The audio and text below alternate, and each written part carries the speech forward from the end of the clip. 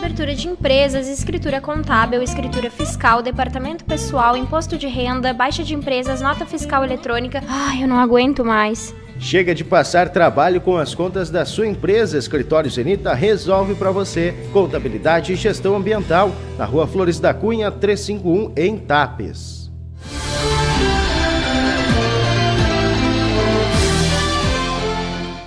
Decorrência desse caso, nossa equipe procurou o presidente da Associação da Festa da Oxum, Alexandre Vandan.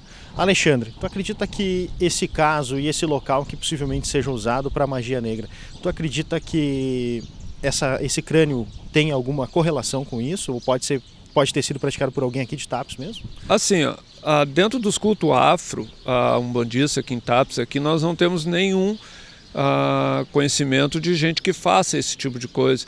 E o uso de crânio humano em rituais, ele normalmente ele vem de voodoo e magia negra, que é outra coisa que nós aqui em Tabs não temos esse registro. Então, assim, ó, uh, eu acredito que isso seja de coisa de gente de fora que vem fazer. E como aquela figueira ali é um local que é feito muita, muita soltura de, de oferendas e coisa ali, acredito que tenha sido, até pelo afastamento da cidade, aproveitado ser feito ali, né, esse, esse tipo de coisa. Ou outra possibilidade que pode ter sido é que alguém largou esse crânio ali, de repente essa pessoa poderia ter isso em casa, né, e aproveitou esse local ali largou ali, mas não, não dando não sendo que o crânio faça parte de algum, algum ritual ou algum trabalho feito naquele local ali que é muito usado pelos afro-umbandistas aqui em Tapes, né? Então a gente não tem esse conhecimento aqui de, de pessoas que façam esse tipo de coisa. E qual é o posicionamento das religiões de matriz africana em relação a casos como esse, não só aqui em Tapes, mas também no estado? Olha, nós, uh, quem é de religião de matriz africana propriamente, assim, nós somos completamente contra a soltura de oferenda, de trabalhos e coisas a céu aberto.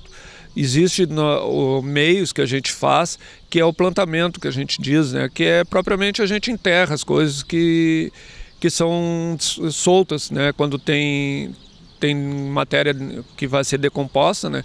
A soltura de papel mesmo, plástico, vidro, esse tipo de coisa, nós somos completamente contra. Né? Isso não faz parte da cultura, até porque a religião de matriz africana, ela tem como a natureza o seu altar. Nós temos que preservar, gente, nós, africanistas, necessitamos da natureza equilibrada.